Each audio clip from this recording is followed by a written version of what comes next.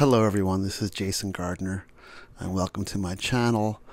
This video is very different from any of my other videos.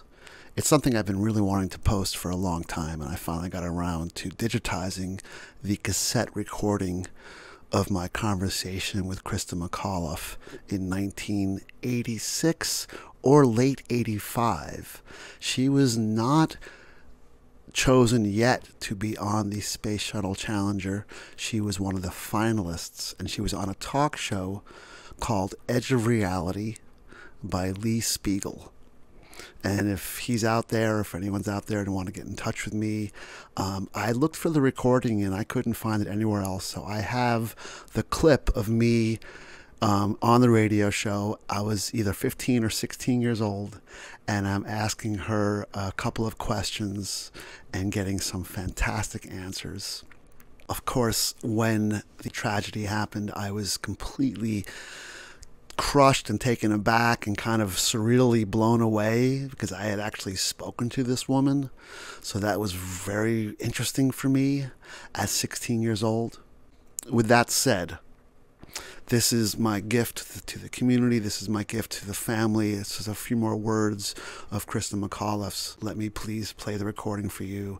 Please feel free to leave a comment and send some love because that would be just wonderful for the family and for anyone that knew her and was in her life or was affected by her incredible humanity. What's your name? Hi, my name is Jason. Where are you calling from, Jason? Uh, Gay Neck, New York. All right, what can we do for you? Okay, um, Christa, what is your actual job on the space shuttle? Well, probably my actual job is going to be to keep out of the way as much as possible because they're going to be launching some satellites from that mission. Mm-hmm. But I also am going to be doing a project on board the shuttle. And I teach, well, I teach a course called The American Woman, which is a social history that tries to focus in on ordinary people and what people have done other than military, political, and economic history. So in tying that with my course, I felt that I would keep a journal now on the flight and then afterwards so that I could share an ordinary person's perspective. I felt that that was unobtrusive.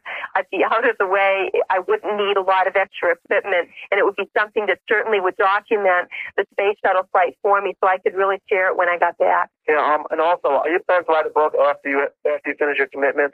I think that would be a real exciting possibility. Oh yeah, and I think wi- I think with lots of color pictures too. Oh, absolutely. All right, Jason, thanks for calling us. All right, good luck. All right, Thank you. Okay, bye. take it easy. I almost said thank you, and like, look at me, I'm on the ground. um, yeah, what was I going to ask you? Oh yeah.